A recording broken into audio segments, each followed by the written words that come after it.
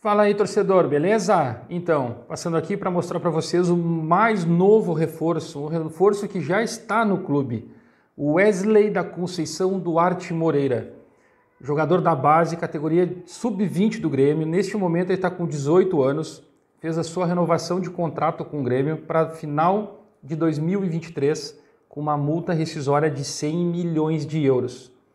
Vou deixar para vocês aqui verem os lances agora no final do vídeo, acompanhe o vídeo até o final. Lances dele disputando com a camisa do Grêmio, sendo jogador, mostrando a sua habilidade, gols dele, lances pela direita e pela esquerda.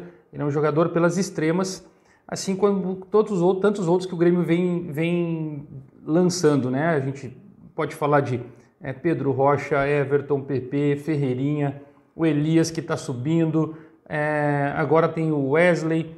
Estou é, esquecendo de outros nomes aqui porque eu estou falando que vem na memória, não tem nada programado, só quero lançar para vocês o vídeo a respeito deste menino que é a maior joia do futebol do Grêmio lançado nos últimos tempos. Pela multa rescisória é muito grande, ele é muito importante, vai dar muitas alegrias e o Grêmio conseguiu firmar um contrato com ele para ele ficar até final de 2023. Uma multa muito alta, é interessante. Galera, quem não se inscreveu aí, se inscreva no canal então e dê seu like, faz esse, essa, essa ajuda a gente no crescimento aí, faz essa boa ação aí para a gente manter o vídeo no crescimento. Vou deixar o vídeo aqui, vou deixar os, os lances do, do Wesley para vocês conhecerem mais. Beleza? Tamo junto, aqui é Grêmio, segue os lances do Wesley.